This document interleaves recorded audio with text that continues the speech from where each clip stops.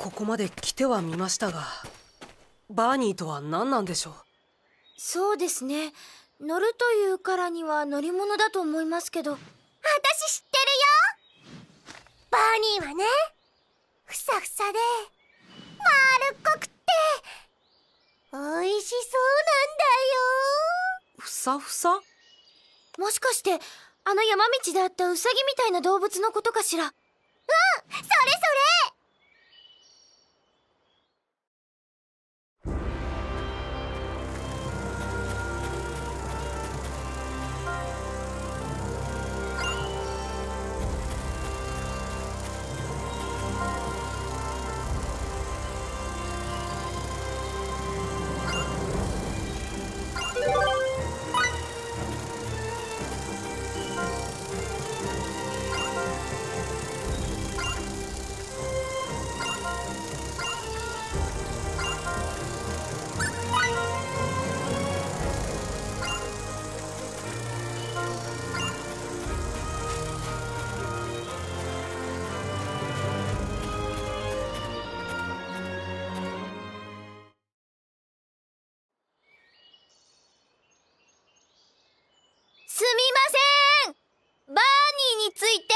教えていただけますか？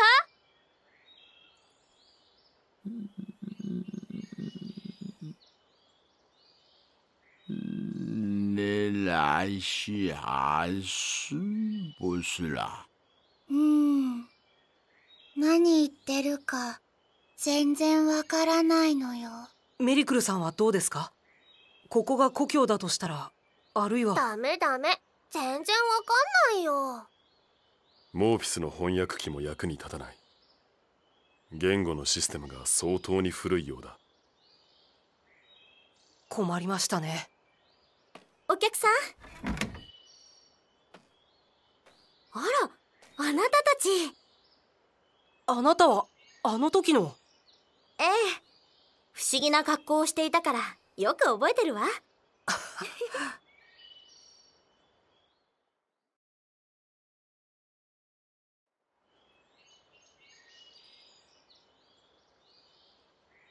ごめんなさい。おじいちゃんは古代語しか使えないの。でも私が通訳できますから。何でも聞いてください。実はパージ神殿に行きたいのですが街で出会った方にバーニーに乗らなければいけないと言われて。ノナレダ・ハスボスラ我大人还是不是啊？確かにリューサの砂漠はバーニーでなければ越えられないわ。じゃあちょうだい食べないから。食べるなんてとんでもない。ごめんね。バーニーはあげられないの。なんでなのよ？あの子は赤ちゃんの頃からずっと一緒で私たちにとっては大切な家族だから。家族を人にあげるなんてできないでしょ？確かにそうですね非礼な申し出を許していただければ幸いです。真面目なのねあなた。大丈夫。おじいちゃんも私も怒ってないから。そうですか。じゃあこれからどうすればいいのよ？そうね。ノバーニーを捕まえてみたら？ノバーニー？そこの森とかに住んでいる野生のバーニーよ。捕まえてあなたたちだけのバーニーにするの。そんなことができるんですか？もちろんよ。だって私のバーニーも元はノバーニーだもの。今見せてあげるね。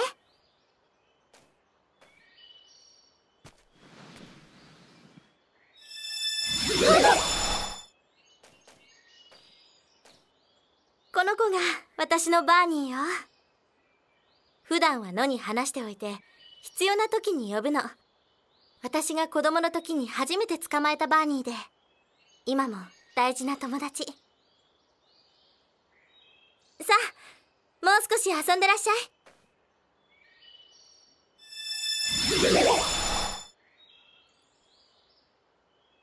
これってリムちゃんが使う召喚呪文？いやこれは少し違うミス・レイミ。あれ？今の声は？えーとですねレイミさん。召喚とはいわば契約なんです。契約？別世界の特定少数のもののみがその対象となります。リムルも特定の魔物しか呼び出せないでしょ？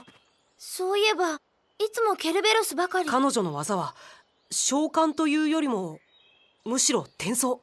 不特定多数の物体を自由に移動させることができるんです例えばワープならば空間の距離を伸縮することで移動にかかる時間自体を短くはできてもその距離によってかかる時間は大きくなります。ダメですよ。ワープだなんてそんなこと。けれど転送はそうじゃありません。対象物のデータを分解し任意の場所に移動させその地点で再構築を成し遂げる。つまり限りなくゼロに近い時間で瞬間的に物質の移動が可能なんです。エルダーでもまだその域に到達していません。しかも質量が大きい物体よりも小さい物体の方が調整は難しいんです。それを考えればこんな紋章だけで転送を実現してしまうなんて素晴らしいとしか言えません。この術でここまで夢中になる人初めて見た。あなた方は皆この術を。この術は私たちの一族にずっと伝えられてきてこれからも伝えていかなきゃいけないものなの。何か理由でもあるんですか？それが誰も知らないんです。知らない？古くから私たちの一族は開く者と呼ばれ代々この術を受け継いできたことぐらいしか。開くものですか？今となってはなんでそう呼ばれているか。おじいちゃんたちも知らないんだけどね。これは？ノバーニーを乗りこなすための手綱よ。これがあればバーニーを手なずけられるわ。そんな大事なものもらってもいいんですか？はい。また作ればいいんですから。助かります。ありがとうございます。では先ほどの術については？あれはダメですあなたが私たちの一族になるなら別ですけど。少し考えさせてください。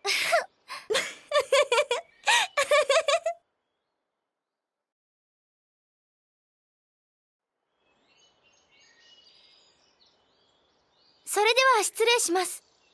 いろいろとありがとうございましたバイ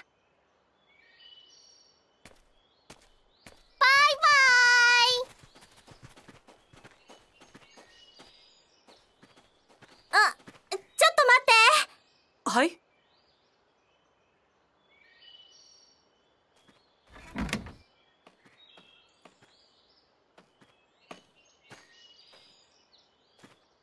これはあなた方がつけているマントですね。これをつけていればノバーニーも警戒しないかもしれないわ。サイズ的にあなたが一番合うと思うの。本当は皆さんにも差し上げたいのだけれど今はこれ1枚しかなくて。いいんですか？手綱だけでなくこれまでも。私たちも旅をしていて親切を受けることがあるわそれを別の誰かに返すのは当然でしょ？素敵な考えです。それをお断りしては逆に失礼に当たりますね。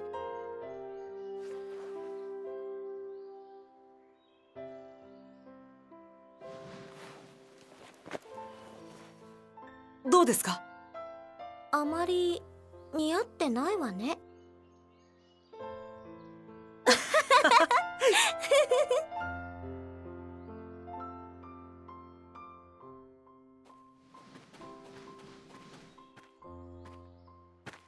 遅いのよフェイズあれ？変なの着てるのよ。いただいたんですよ。本当に素朴でいい人たちでした。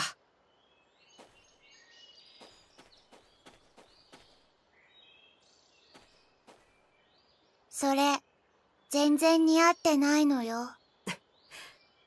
彼女にも言われましたよ